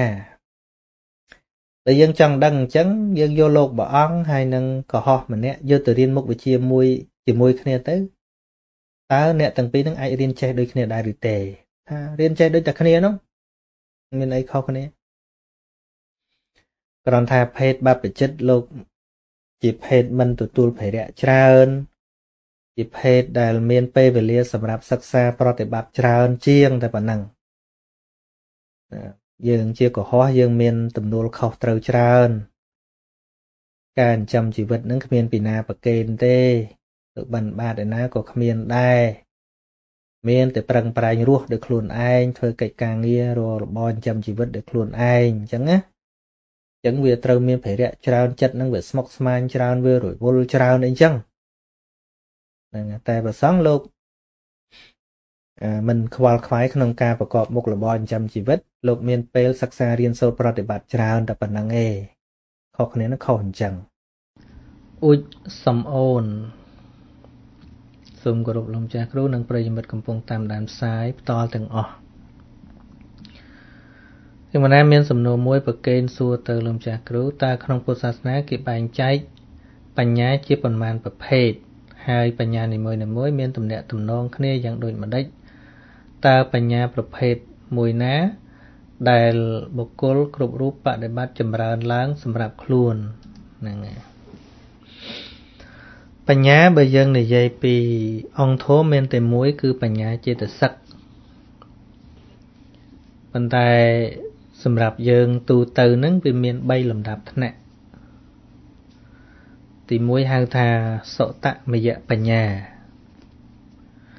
សសុតមយៈបញ្ញាហ្នឹងគឺបញ្ញាកើតពីការស្ដាប់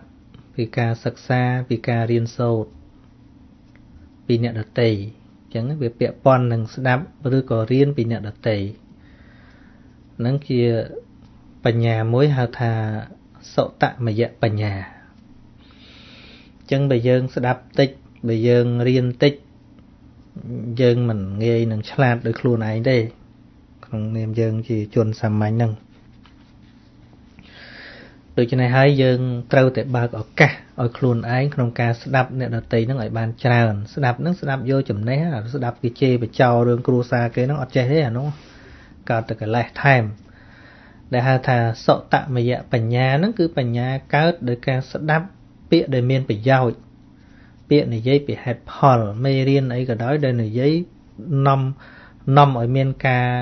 រីកចម្រើនការយល់ដឹងអាហ្នឹង ជាបញ្ញាមួយថ្នាក់ក្រោមហើយទី2ហៅថាចិន្តាមយៈបញ្ញាចិន្តាមយៈបញ្ញាហ្នឹងគឺបន្ទាប់ពីស្ដាប់ហើយយើងគិតត្រេះរិះពិចារណាមិនមែនចេះតែជឿទេឃើញ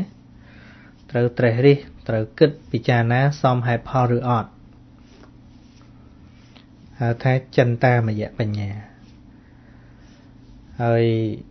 លំដាប់ទី3ហៅថាភាវនាមយៈបញ្ញាភាវនាមយៈបញ្ញានឹងគឺបញ្ញាថ្នាក់ពិសោធន៍ថ្នាក់អនុវត្តឃើញអញ្ចឹងបញ្ញាដែលត្រូវចម្លើចម្រើនឡើងតាមរយៈ3ហ្នឹង3ថ្នាក់ហ្នឹងស្ដាប់ឬក៏សិក្សារៀនសូត្រ ហើយថ្នាក់គិតពិចារណាហើយនឹងថ្នាក់ពិសោធន៍ថ្នាក់អនុវត្តពីព្រោះអ្វីដែលយើងចេះមកអ្វីដែលយើងគិតមកថាត្រូវនឹងមិនប្រកាសថាវាប្រើការបានទេវាទល់តែអនុវត្តមិនដឹងថាអើកើតអត់ឃើញទេ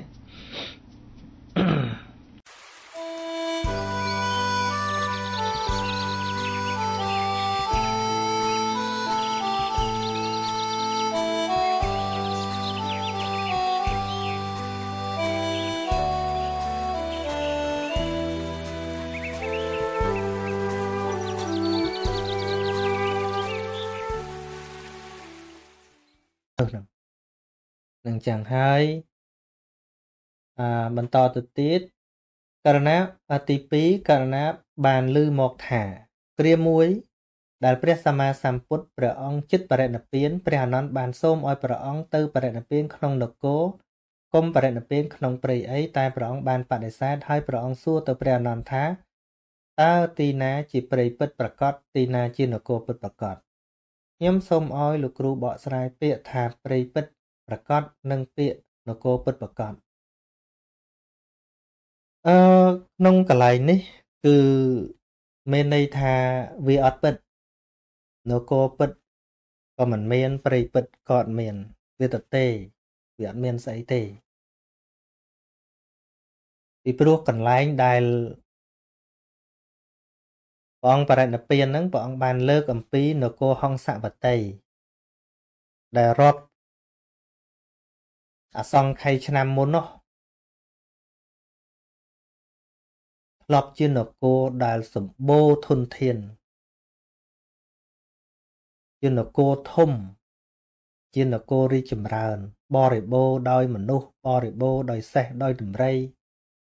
ដោយស្រូវដោយអង្គដោយតន្ត្រីដោយសេចក្តីសប្បាយសពគ្រប់ទាំងអស់កន្លែងនោះគឺមិនមែនព្រៃចឹងទេកាលនោះគឺជានគរដ៏ធំនគរល្បីឈ្មោះហង្សវតីនឹងប៉ុន្តែពេលវេលាកន្លងទៅនគរទៅជាមិនមែននគរដោះព្រៃពេញអញ្ចឹងទៅឃើញទេយើងសិក្សាប្រវត្តិសាស្ត្រខ្មែរយើងក៏អញ្ចឹងរាជធានីខ្មែរយើងដូរនឹងប្រមាណដងហើយ តាំងសម័យអង្គរមកមុនសម័យអង្គរមកសម័យចេនឡាមកសម័យឧដុង្គមកសម័យលង្វែកដូចកន្លែងលង្វែកអីឃើញព្រៃទៅទីណានគរទីណាព្រៃវាអត់មានហ្នឹងហើយវាដូចតែគ្នាទេអញ្ចឹងមិនចាំបាច់ទេ ទីណាក៏បានសម្រាប់ព្រះអង្គនគរដូចព្រៃព្រៃដូចនគរក្នុងន័យនឹងឯង ហើយហេតុអ្វីបានជាព្រះអង្គសម្រេចយកការបរិនិព្វានក្នុងព្រៃនោះ មានហេតុយ៉ាងនេះ បើសិនជាព្រះអង្គទៅនគរណាមួយ វានឹងនាំឲ្យស្ដេចដតីនឹងចំណែនតែបើព្រះអង្គបរិនិព្វាននៅកន្លែងនោះវាជាទីប្រជុំទៅនគរណាក៏ប៉ុណ្ណឹងនគរណាក៏ប៉ុណ្ណឹងអ្នកនគរទាំងអស់ហ្នឹងនឹងរកព្រះអង្គនៅកន្លែងហ្នឹងមកកន្លែងហ្នឹងมันឆ្លោះគ្នាទេ អាអានឹងជាហេតុផលដែលព្រះអង្គមិនទៅកាន់នគរណាមួយអញ្ចឹងនៅក្នុងព្រៃហ្នឹងទៅឲ្យនគរផ្សេងផ្សេងដែលនៅជុំវិញហ្នឹងមករកព្រះអង្គកន្លែងហ្នឹងវាអត់ចំណែនគ្នាបើព្រះអង្គដឹងតែបរិណពេលហ្នឹងទៅជ្រើសយកនគរណាមួយប្រកាសជាស្ដេចនគរផ្សេងផ្សេងចំណែនអញ្ចឹងសុកចិត្តនៅក្នុងព្រៃអញ្ចឹងហ្នឹងអត់យកនគរណាមួយស្មើនឹងប្រកាន់អព្យាក្រឹតកន្លែងហ្នឹងអឺភូមិរាថាច់ gonna learn a lot from listening to Dharma preaching and applying to daily life អូម៉ោងដល់ប៉ុណ្ណឹងហើយហ្នឹងហើយដូចនេះអីផ្លេក Safari កណាលោកម្ចាស់ខ្ញុំកណាស្ដាប់យកយល់ទោះបន្តិចក៏បានឲ្យតែយកមក apply ក្នុងជីវិតប្រចាំថ្ងៃបានខ្ញុំកណាក៏សប្បាយចិត្តបានហើយទៀនម្ចាស់ហ្នឹងហើយ ធัวដែលធ្វើឲ្យយើងសប្បាយចិត្តដែលយើងរស់នៅដោយ peacefully មិនមែនសប្បាយនឹងចេះចេះចាំច្រើនសូត្រមិនចប់វាជារឿងនាំឲ្យមានការយល់ដឹងមែនទេមែនទេតិចក៏ដោយឲ្យតែយល់ច្បាស់គឺថាដូចយើងមានថ្នាំតិចក៏ដោយឲ្យតែលេបត្រូវអញ្ចឹងដូចគ្នាអាមានថ្នាំមកទូលេបមិនត្រូវផង មកពងអួតតែខ្ញុំមានថ្នាំច្រើនណាស់ហ្នឹងវាអត់ប្រយោជន៍អីហ្មងណា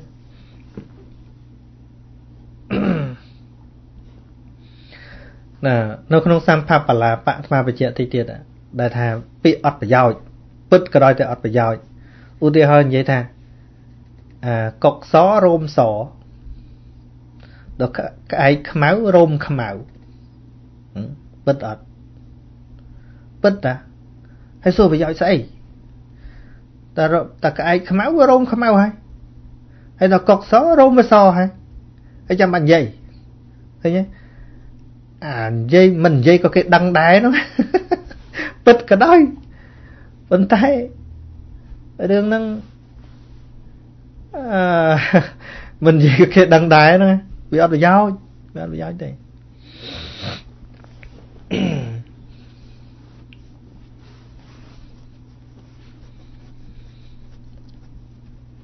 មិនចាំបាច់តែយើងទៅទៅគិតថារឿងប្រហែលពាន់ឆ្នាំពិតឬមិនពិត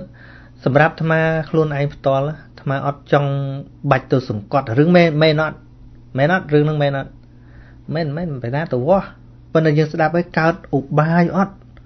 កើតភាពឆ្លាតវៃអត់មកដោះស្រាយបញ្ហាក្នុងជីវិតនឹងខ្លួនយើងកើតអត់អាហ្នឹង